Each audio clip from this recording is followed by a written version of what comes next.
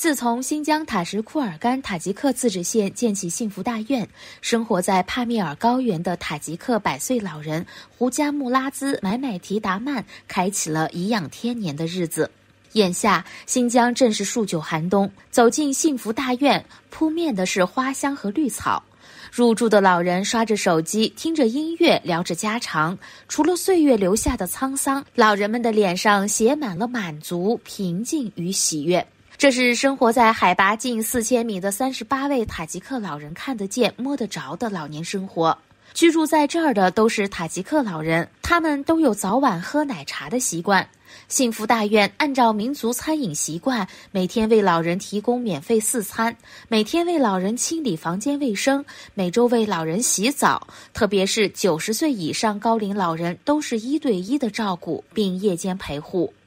冬季在市里打扑克、下象棋、看书报；夏季在室外赏花草、做运动，愉悦老人心情。每天测血压、量体温、听心音，了解老人健康状况。呃，我们去年八月份入到了幸福大院，然后幸福大院啊，老人呃，我们老人特别高兴，因为幸福大院他们真正的得到了幸福。该县阿巴提镇幸福大院院内面积一点五六万平方米，有标准住房二十二间，床位四十四张，配有医务室、特护室、活动室、消防池等设施。其中十五人从管理、医护、保洁方面陪伴照顾老人们的生。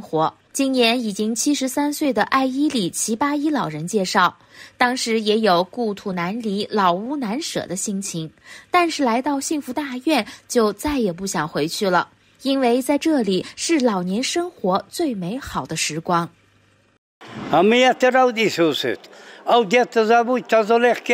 اما شاشير زنين بخطر لقير كفلي كيت لمن ماشير تشويق كين مودناتي شاري بختي نالش